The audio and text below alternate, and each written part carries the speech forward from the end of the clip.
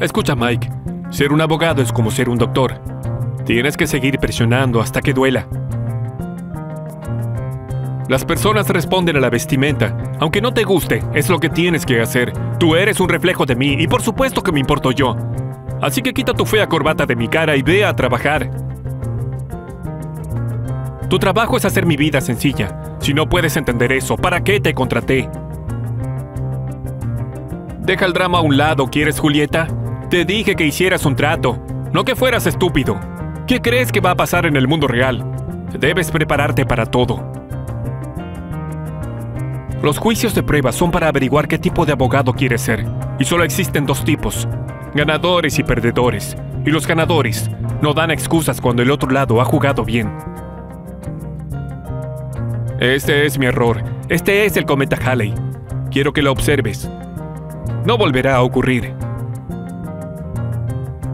Si te metes en problemas, no juegues con el caso.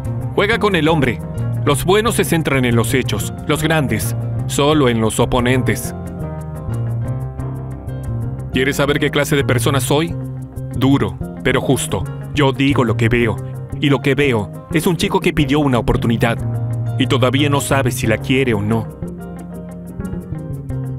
Tienes que entender que cualquiera, sin importar lo valioso que sea, puede ser despedido. Este hábito de compadecer a todos los clientes no te va a llevar a ningún lado. ¿Quieres trabajar en esta firma? Tienes que lidiar con evidencia, información que pueda sostenerse. Eso hace un verdadero abogado. ¿Crees que yo no pensaba que era más listo que el jefe con el que empecé? Lo creía, y era cierto. Y esperé mi maldito turno. ¿Sabes qué? Ya estoy hasta aquí de que me culpes por las decisiones difíciles que vienen con el trabajo. Antes de contratarte, ¿tu vida era mejor o peor? Bueno, deberías concentrarte en lo mejor porque la próxima vez que tenga la opción de cruzar la línea y salvarte, te voy a decir que empaques y no voy a dudarlo. Ahora, arregla tus cosas. Déjame decirte algo. Esta no es la escuela primaria. Esto es trabajo duro, largas horas. Tienes presiones. Necesito un maldito hombre maduro. Llegar tarde para arreglar tus asuntos. No es arreglar tus asuntos. Tal vez tienes el valor para este trabajo, pero no tienes el coraje para continuar en las dificultades. Sigue hablando y voy a empezar a cobrarte, y mi tiempo vale mil dólares la hora. Es tu trabajo hacer lo que te digo cuando lo digo. Ahora, si quieres hablar de lealtad, será mejor que te la ganes. No te pedí que me explicaras el problema, ¿o sí? Quiero que te ocupes. Tu trabajo es ayudarme, no arruinarme. Si te digo que hagas algo, no quiero oír que no lo hiciste.